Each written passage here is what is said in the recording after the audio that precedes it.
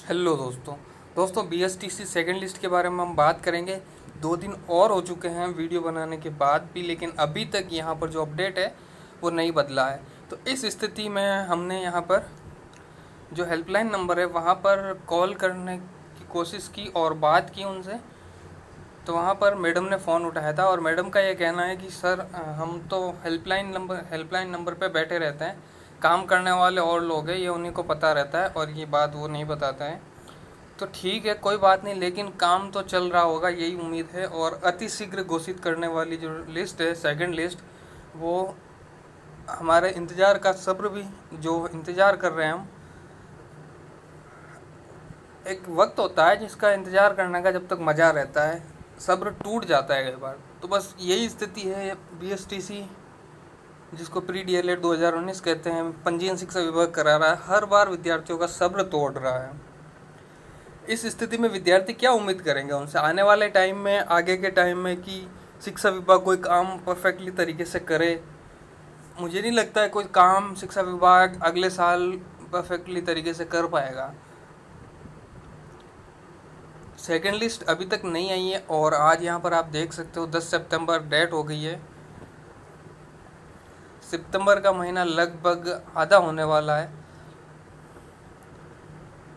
एक तिहाई महीना चला गया है, लेकिन हमारे पास ऑप्शन भी तो नहीं है। अगर मेरा सिलेक्शन फ़र्स्ट लिस्ट में नहीं हुआ है तो मैं कर भी क्या सकता हूँ?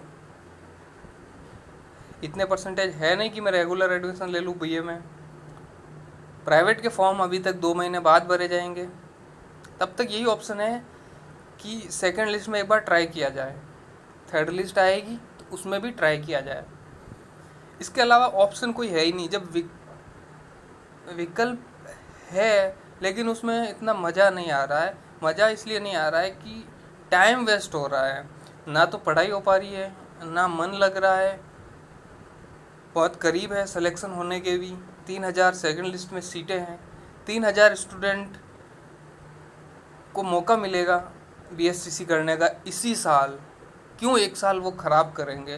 तो ये बातें हैं छोटी छोटी जो उस स्टूडेंट के लिए बहुत बड़ी बात है ये, कि उसका सिलेक्शन सेकंड लिस्ट में होने वाला होगा।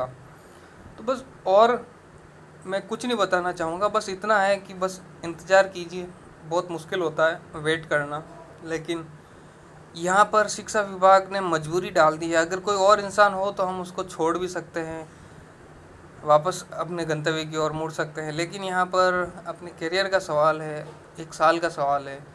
तो बस वेट कीजिए, इंतज़ार ही, इंतज़ार का फल मीठा होगा। जिनके नंबर अच्छे होंगे का सिलेक्शन होगा। और जिनको लगता है कि शायद इस साल भी मेरा मुश्किल है तो उनसे तो मैं यही रिक्वेस्ट करूँगा कि भाई प्लीज़ यार, लग जाओ। जो कमी थी, बस दूर करो उसको। एक साल का टाइम पड़ा है। थोड़ी थोड़ी तैयारी करोगे तो पार हो जाएगी गाड़ी अगले साल अच्छे नंबर से। बाकी लोग बातें करने वाले तरह तरह की बातें करते ही रहेंगे। ओके, फिर मिलते हैं हम नेक्स्ट वीडियो में।